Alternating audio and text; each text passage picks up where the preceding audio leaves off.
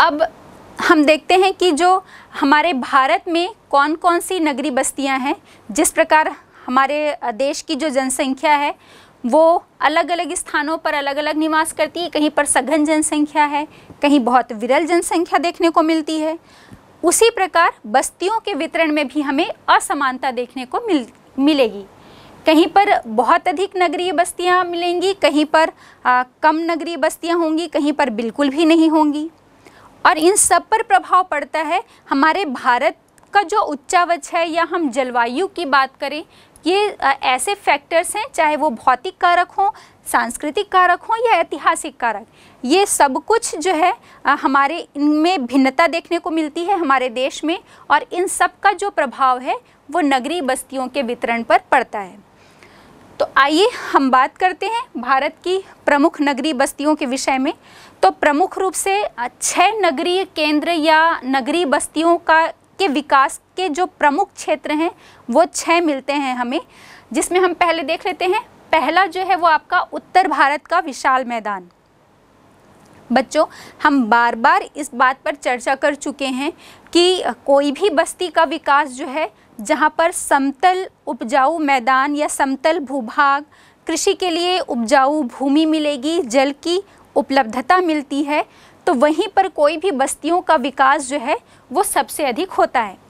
फिर चाहे हम ग्रामीण बस्तियों की बात करें या हम नगरीय बस्तियों की बात करें, दोनों का ही विकास उस क्षेत्र में होगा।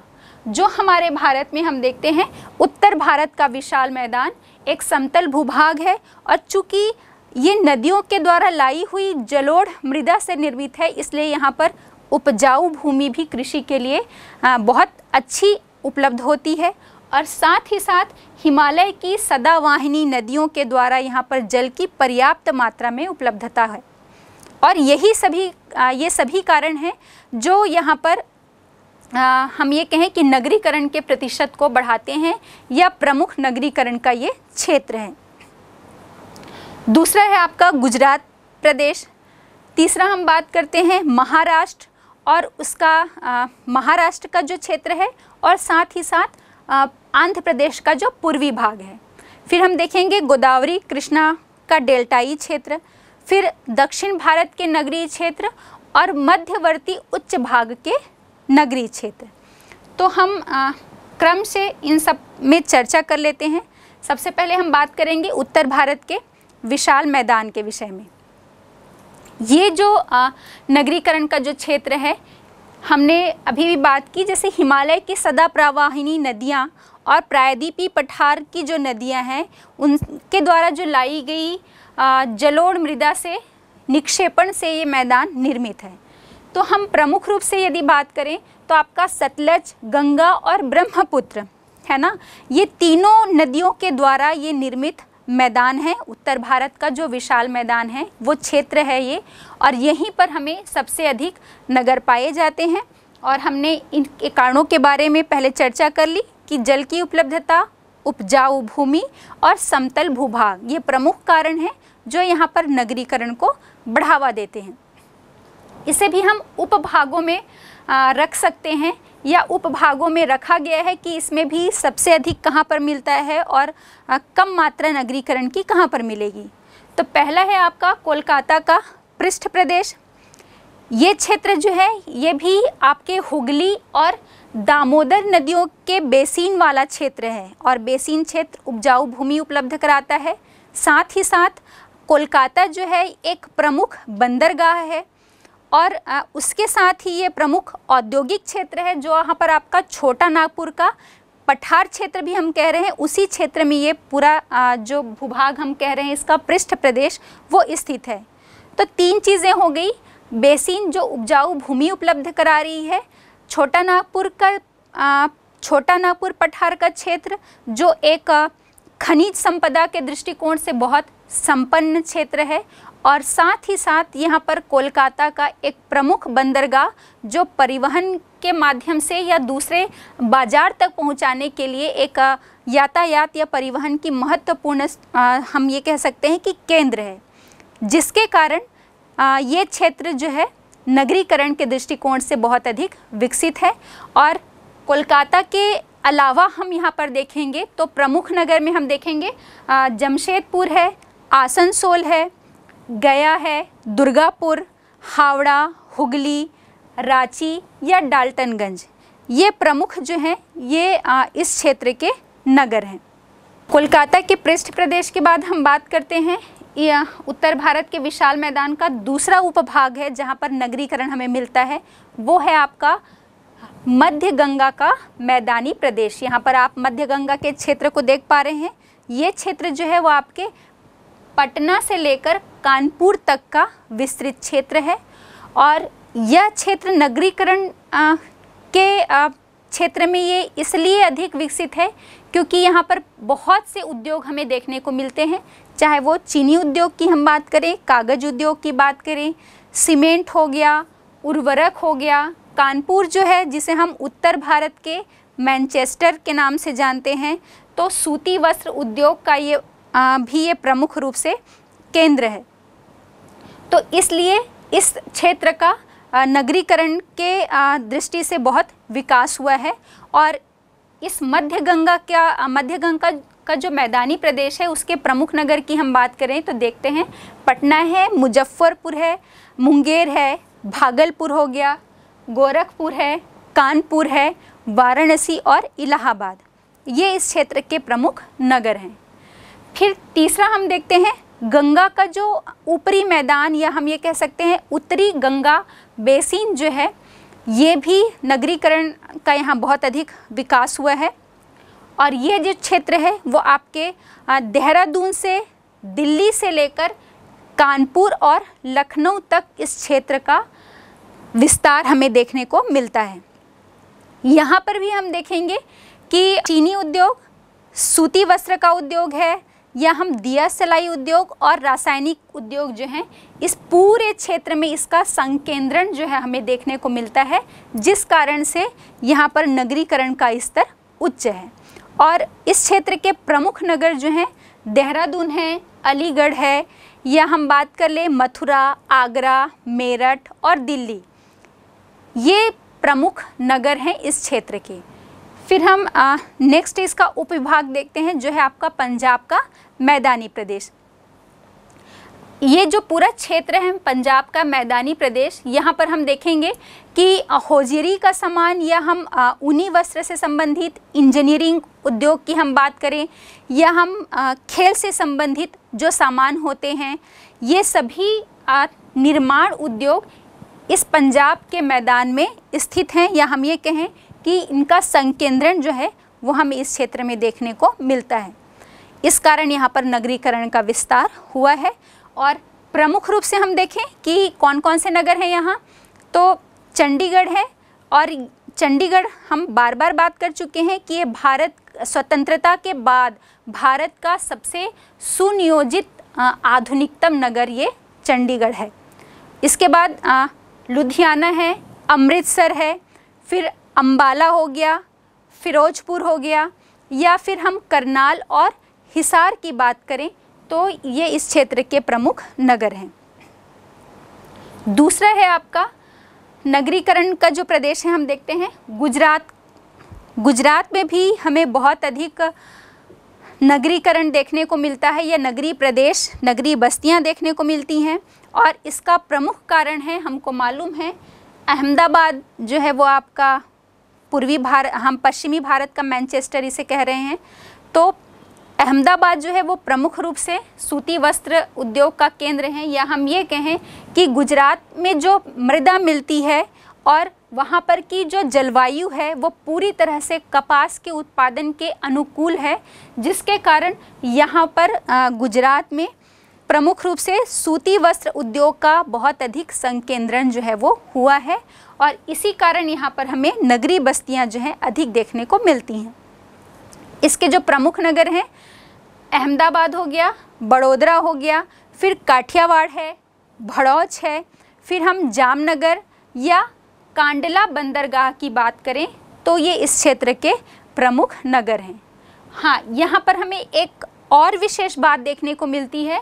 गुजरात में जो द्वारका है, वो इस क्षेत्र का प्रमुख या हम ये कहें भारत देश का प्रमुख तीर्थ स्थान है। तीसरा है आपका महाराष्ट्र और पूर्वी आंध्र प्रदेश। हम पहले भी बात किए हैं, महाराष्ट्र में जो मुंबई है, वो एक प्रमुख व्यापारिक केंद्र है या प्रमुख व्यापारिक नगर है। हम इसे भारत की व्यापारिक राजधानी के नाम से भी जानते हैं। और हम ये देखते हैं कि मुंबई जो बंदरगाह है, उसका जो पृष्ठ प्रदेश है मतलब हम जब महाराष्ट्र की बात कर रहे हैं या पूर्वी आंध्र प्रदेश की तो ये पूरा जो क्षेत्र है, वो मुंबई बंदरगाह का पृष्ठ प्रदेश पड़ता है। और जिस बंदरगाह का पृष्ठ प्रदेश जितना अधिक धनी और सुविकसित होता है, उसका विकास उतना ही अधिक होता है। हम और पहले भी इस बारे में चर्चा कर चुके हैं। तो इस पृष्ठ प्रदेश के अंतर्गत हम देखेंगे कि आपका नागपुर है, अमरावती, रत्नागिरी, धारवाड़, हैदराबाद या चार नगरों की परिधि से या पूरे क्षेत्र, चारों तरफ़ ये नगर जो हैं, इस पृष्ठ प्रदेश के घिरे हुए हैं। तो आ, हम बात करेंगे इस क्षेत्र का सबसे प्रमुख नगर मुंबई है जो भारत के आ, जो हमारा पश्चिमी तट है इसका हम देखते हैं कि प्रमुख बंदरगाह भी है और हमने बात की कि प्रमुख व्यापारिक नगर भी है।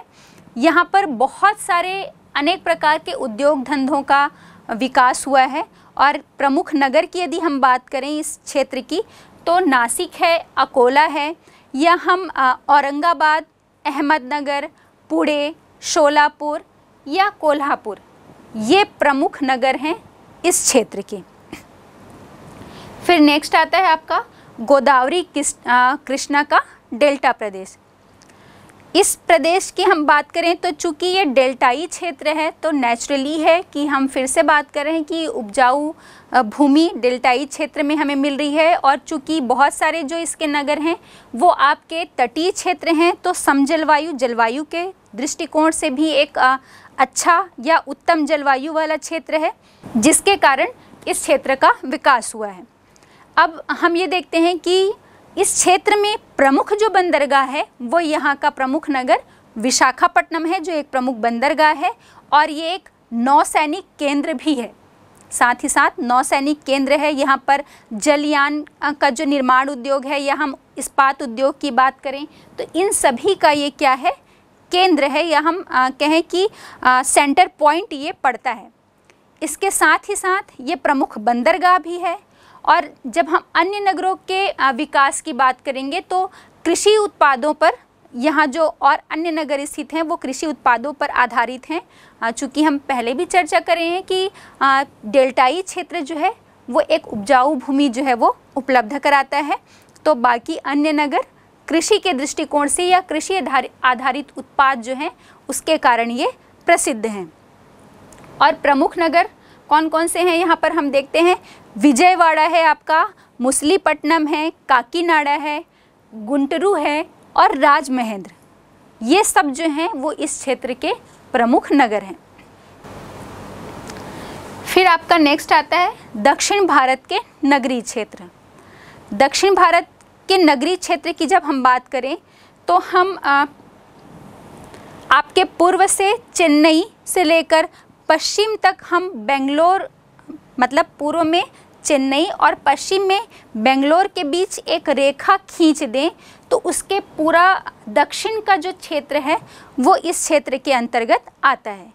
और यहाँ की प्रमुख विशेषता है, जिसके कारण यहाँ पर नगरीय बस्तियों का या नगरों का अधिक विकास हुआ है, वो है यहाँ पर वायुयान संबंधी टेलीफोन या हम रेल के डिब्बों की बात करें, या आपके विद्युत उपकरण हो गए, या जो चमड़े के सामान हैं ये यहाँ पर प्रमुख रूप से इनका निर्माण किया जाता है। हम ये कहें कि इनके निर्माण के ये केंद्र हैं, जिस कारण से ये क्षेत्र या इस क्षेत्र में नगरों का अधिक विकास हुआ है। प्रमुख नगर जो हैं वो यहाँ के बेंगलोर है आपका, चेन्नई है, मैसूर है, तिरुवनंतपुरम है, मदुरई है, सेलम, पांडिचेरी या तुतिकोरन। ये प्रमुख इस क्षेत्र के नगर हैं। अब हम देखते हैं मध्यवर्ती उच्च प्रदेश।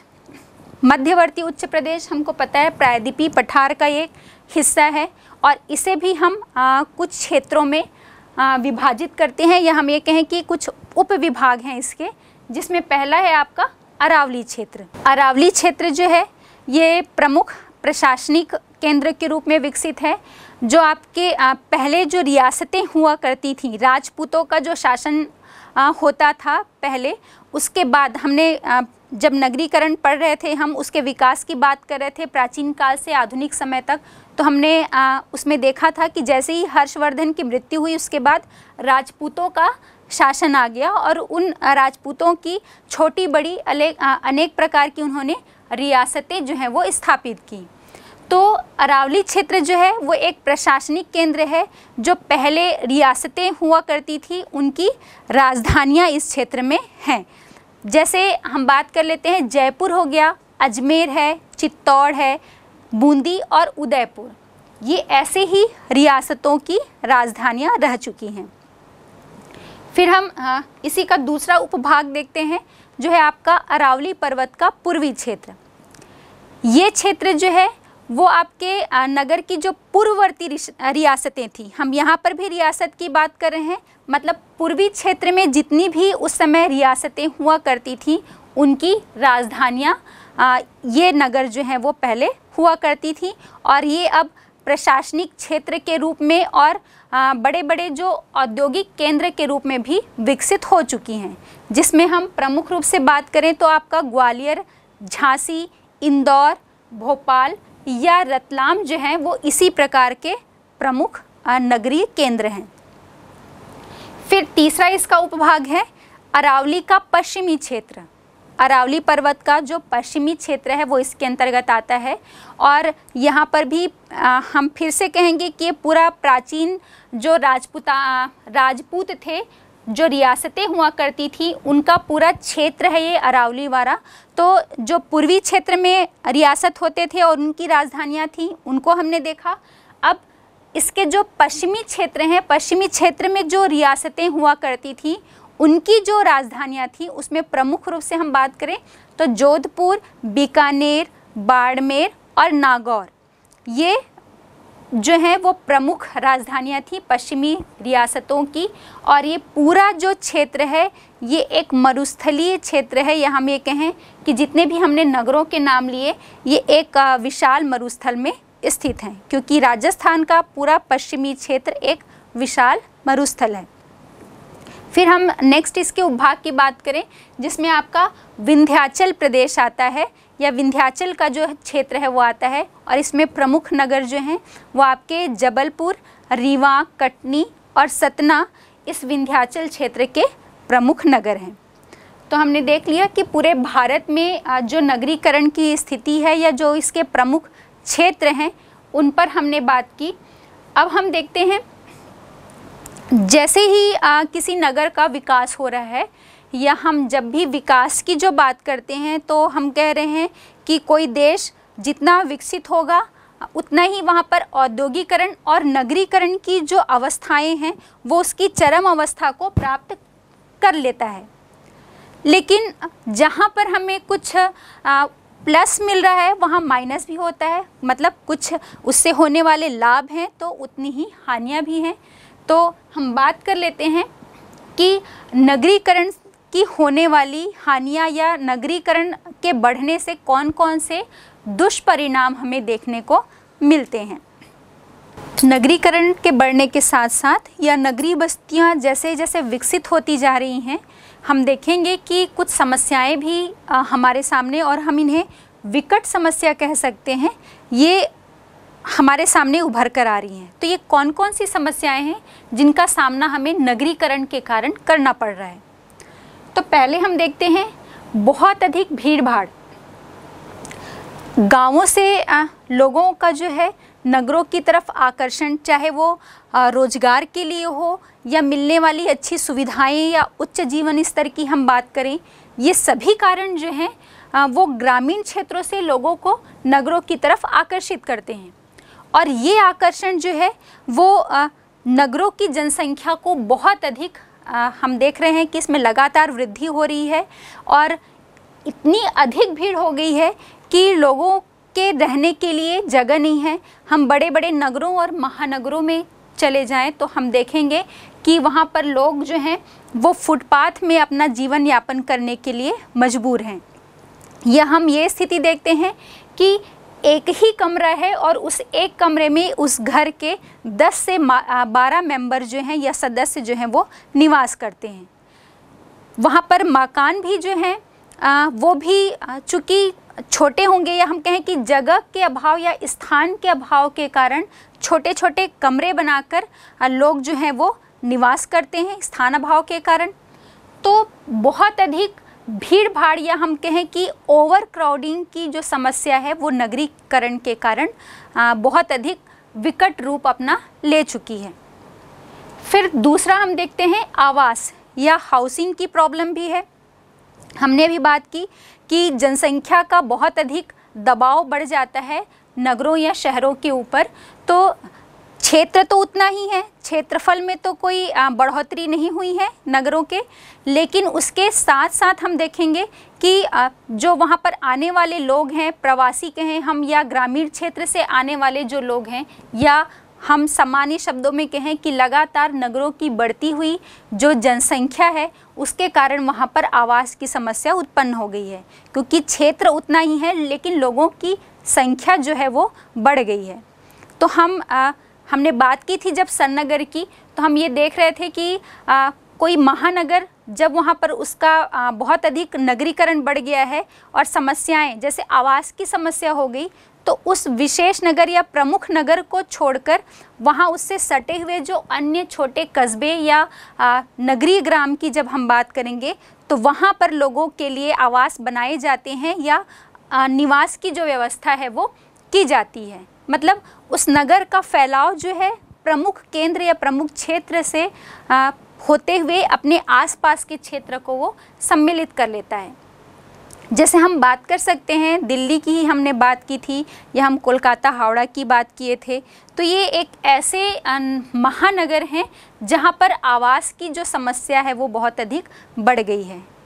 और इसी के कारण हम देखेंगे कि हमें इंडिविजुअल मकान भी बहुत कम अब देखने को मिलते हैं क्योंकि स्थान का इतना भाव हो गया है और बड़ी बड़ी बहु मंजिला इमारतें जो हैं वो हमको महानगरों में देखने को मिलती है।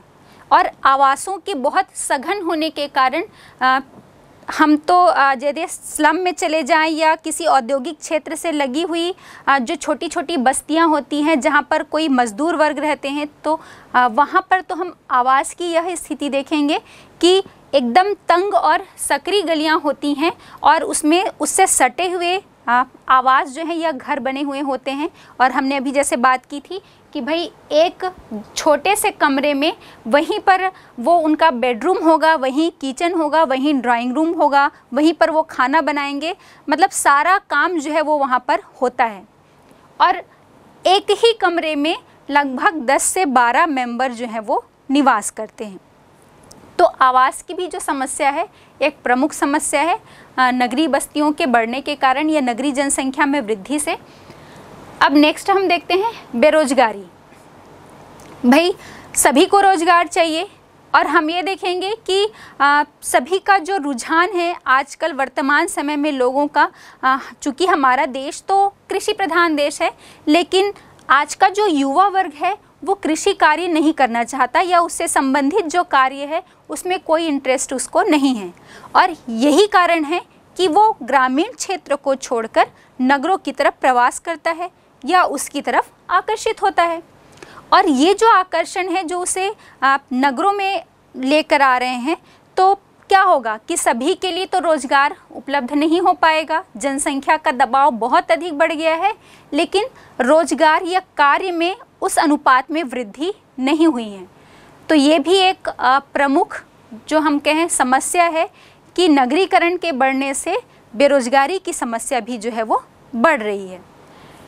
फिर हम नेक्स्ट देखते हैं मलिन बस्तियाँ या स्लम्स जो हैं, ये अभी वर्तमान समय में हमारे लिए एक अभिशाप के रूप में कार्य कर रहे हैं। मतलब जितना ज़्यादा औद्योगिकरण बढ़ रहा है या नगरीकरण में जितना विस्तार हो रहा है, उसके आसपास उसमें जो काम करने वाला श्रमिक वर्ग है, लेबर वर्ग है, वो वहीं पर उस क्षेत्र से, में लगे हुए क्षेत्र में झुग्गी झोपड़ियाँ बनाकर निवास करने लगते हैं। और ये इनकी स्थिति बहुत ख़राब होती है क्योंकि वहाँ पर पीने के पानी की समस्या होती है, सीवरेज की प्रॉब्लम होती है मतलब पर्यावरण प्रदूषण तो होता ही है। साथ ही साथ वहाँ पर बहुत ज़्यादा सटे सटे सटे जो हैं, वो झुग्गी झोपड़ियाँ बनाई जाती हैं और उसमें वही स्थिति कि एक छोटी सी झोपड़ी के कमरे में कच्चा मकान होता है, सीवरेज भी वहाँ पर परमानेंट उसकी व्यवस्था नहीं होती और बहुत सारे लोग जो हैं वहाँ पर एक ही कमरे में निवास करते हैं। तो स्लम जो है वो आ, एक बहुत हम ये कहें कि हमारे लिए एक विकट समस्या है और इसका निराकरण करना हमारे लिए बहुत आवश्यक है क्योंकि ये हमारे पर्यावरण को तो दूषित कर कर ही रहा है और साथ ही साथ हम ये कहें कि हमारे आसपास का जो एनवायरनमेंट है या जो आ, हम ये कहें कि आ, जो उसका प्रभाव है वहाँ पर रहने वाले लोगों का जो जीवन स्तर होता है वो एकदम निम्न होता है और वो मुख्य क्षेत्र से एकदम कटे हुए होते हैं शिक्षा का अभाव होता है तो उनका जीवन स्तर भी ऊपर उठाना या आ, उन्हें उनके जीवन स्तर को हम सामान्य बनाना, जिस और शिक्षा के स्तर को बढ़ाना, जिससे उनकी सोच में बदलाव हमारे लिए आज बहुत आवश्यक हो गया है। इसके बाद हम देखते हैं परिवहन। आप, हम बहुत बड़े महानगर की बात नहीं करें। हम अपने रायपुर में भी आप चले जाइए। हम जैसे ही कोई एक सिग्नल आता है तो ऊपर से आप देखेंगे तो आपको पूरे सिर ही सिर सबके नज़र आएँगे।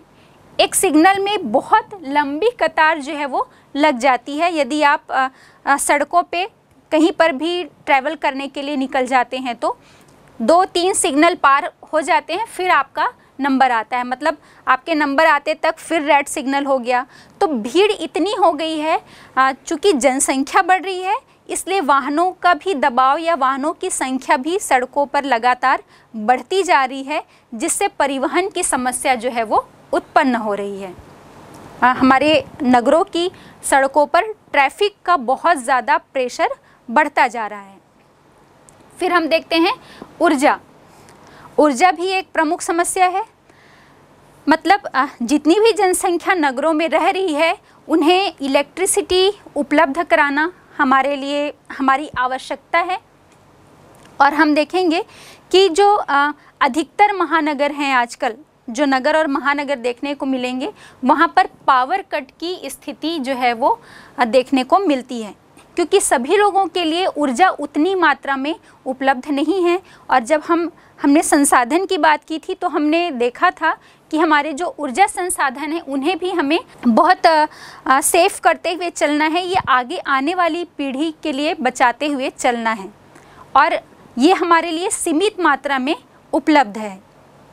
और इसी का परिणाम जो है, वो हम अधिकतर शहरों या नगरों में पावर कट के रूप में देखते हैं और विशेषकर गर्मियों का जब मौसम होता है, तब तो हम देखते हैं कि भाई पूरी दोपहर भर लाइट नहीं है पावर कट की प्रॉब्लम होती है। फिर है जल की समस्या। जल भी उपलब्ध कराना, चूँकि जनसंख्या बढ़ रही है तो उतनी जनसंख्या को हर तरह की सुविधाएँ जो हैं, वो हमें उपलब्ध करानी पड़ेंगी, जिसमें जल जो है वो एक महत्वपूर्ण हम कह सकते हैं कि हमें सिंचाई के लिए भी जल की आवश्यकता है, पीने के लिए भी है, नहाने के लिए मतलब हमारी रोज़मर्रा की जो आवश्यकता है उसकी पूर्ति करने के लिए भी हमें जल की आवश्यकता है। अगर हम बात करें, जो हमारे चार महानगर हैं, दिल्ली, मुंबई, कोलकाता और चेन्नई तो ये जो चारों महानगर हैं, इसमें हम जल की मांग और उसकी आपूर्ति का अनुपात या रेशियो देखें तो हम देखेंगे कि इसमें 10 से 20 प्रतिशत तक का हमें अंतर पाया जाता है मांग में और आपूर्ति के बीच में। तो जल भी एक विकट समस्या है। फिर सीवरेज। सीवरेज हमने बात की थी कि लगातार जनसंख्या का बढ़ता दबाव और औद्योगिकरण के बढ़ते प्रभाव के कारण जो स्लम है, वो आज के नगर की प्रमुख समस्या हम ये कहें कि अभिशाप के रूप में बनता जा रहा है और प्रमुख रूप से उन क्षेत्रों में सीवरेज की समस्या तो होती ही है क्योंकि कच्ची सीवरेज का जो सिस्टम होता है वो होगा और साथ ही हम जितने भी हमारे शहर या जो नगर हैं उनकी बात करेंगे तो वहाँ के भी जो सीवरेज हैं वो बहुत पुराने सीवरेज सिस्टम हो चुके हैं जिनका मेंटेनेंस नहीं किया गया है। तो इतनी सारी जो जनसंख्या है आ, बहुत आ, मतलब हम ये देखेंगे कि सीवरेज जो है वो हमारे लिए एक बहुत बड़ी समस्या वर्तमान में बन रही है जिसके कारण हमारा एनवायरनमेंट जो है वो पर्यावरण जो है पूरी तरह से प्रदूषित हो रहा है। फिर हम नेक्स्ट देखते हैं अपशिष्ट जो पदार्थ हैं उनका निराकरण कैसे किया जाए, है ना? जितने भी वेस्टेज वेस्ट मटेरियल निकल रहे हैं, उनकी भी एक प्रमुख समस्या है नगरों में। इसके साथ साथ जितना हम विकास करते जा रहे हैं, उतना ही अपराध भी जो है वो बढ़ते जा रहा है। नगरीय अपराध भी नगरों में होने वाले अपराध भी एक प्रमुख समस्या है, क्योंकि वहाँ पर बेरोजगारी है, रोज़गार का अभाव, जनसंख्या के बढ़ते दबाव के कारण साथ ही साथ हम देखेंगे प्रतिस्पर्धा कंपटीशन बहुत ज़्यादा बढ़ गया है।